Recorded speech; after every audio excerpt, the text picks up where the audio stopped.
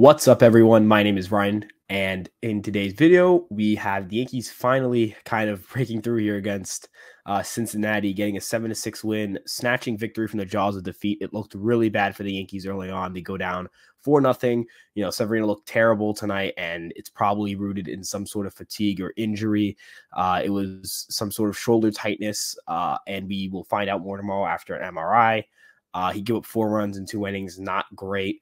Um, you know, Sears comes in, he gives two runs over three and two thirds, which on the surface is, not great, but struck out five guys, did a job coming in, you know, kind of cold. Abreu gave you one inning of scoreless ball, gave up two hits, pretty soft hit balls, got a strikeout in there, didn't walk anyone. Wandy gets a big strikeout of Joey Votto with runners on. Chapman has uh, scoreless, a clean inning, still walked someone, so the command isn't fully back, and you kind of wonder when it will be. And Clay Holmes also had a similarly shaky outing. Um, it looked really dicey there, but he was able to get out of it. And that's, I think, that's a big confidence booster for him, especially coming off of his worst outing of the season. And then Michael King absolutely nails. He has been awesome all year. He's had his rough stretches, but he's come fully alive in the last month and a half after a pretty rocky end to May. So that's really exciting to see, especially considering that, you know, Holmes is struggling a little bit. The Yankee bullpen's a little depleted. Seeing King come in and step in and you know, get that big out is, or those big three outs is huge. Looking nasty as always, getting a strikeout and a double play after giving up a ground ball single, preventing the Reds from scoring, and giving the Yankees the opportunity to walk it off in the bottom of the 10th, which they did on two wild pitches. You know, the Yankees got a lot of offense from a lot of different places tonight. They got two hits from LeMahieu. He was the game winning run, and it was on his birthday, which is pretty cool to see. Um, you know, they got a big home run from Stanton in the bottom of the eighth to tie the game up and they had a big, big night from Isaiah Kiner-Falefa, who had two doubles, drove in three runs, and really just looked a lot better tonight. Um, I know he had a throwing error, and so defensively, still not, you know, still not all the way back there. But offensively, lately, he's been hitting, I believe, over 300 um, on base rate. Uh, the on base percentage is over 350.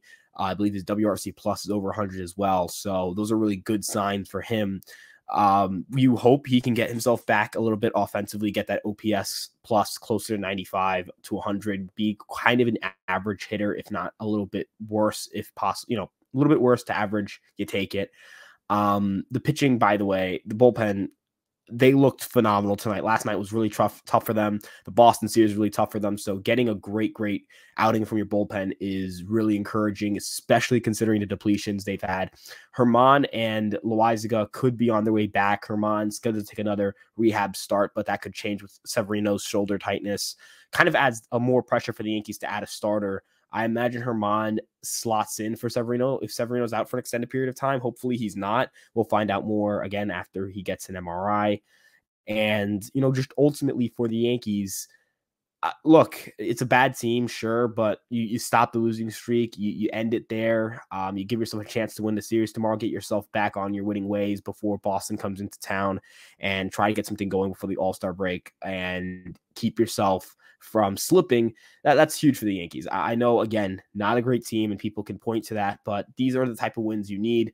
Um, a loss here would have been really, really bad. A win here is obviously a lot, lot better. So, um, if this win doesn't really matter to you, then you would say a loss doesn't matter to you. But I, I think everyone would sit here and say, oh, a series loss to Cincinnati Reds and being on the verge of getting swept is a lot different than walking away tonight with a chance to win the series tomorrow.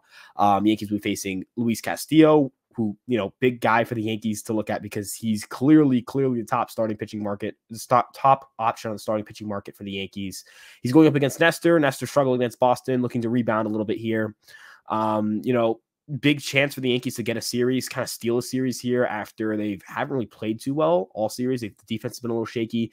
The starting pitching tonight wasn't great. The bullpen was leaky the first game. Just not a great, great cohesive unit right now. But if you can kind of figure out how to steal a series win, um, you know, make tomorrow a, a game that you kind of dominate in all facets of the game, and then kind of towards the end there, uh, you know, get yourself ready for Boston. That that'd be huge. So we'll see how they play tomorrow. We we'll see how um you know the series ends up, and we'll see uh, how the Yankees play against Boston. But um, big win for the Yankees tonight. And uh, yeah, if you guys like what we do, you know, you guys have been great with support. Make sure make sure to like, comment, and subscribe. We appreciate all your support. You guys have been great. Let us know your thoughts in the comments below. What are you concerned about? What do you think the Yankees can get better? What are your takeaways from tonight's game?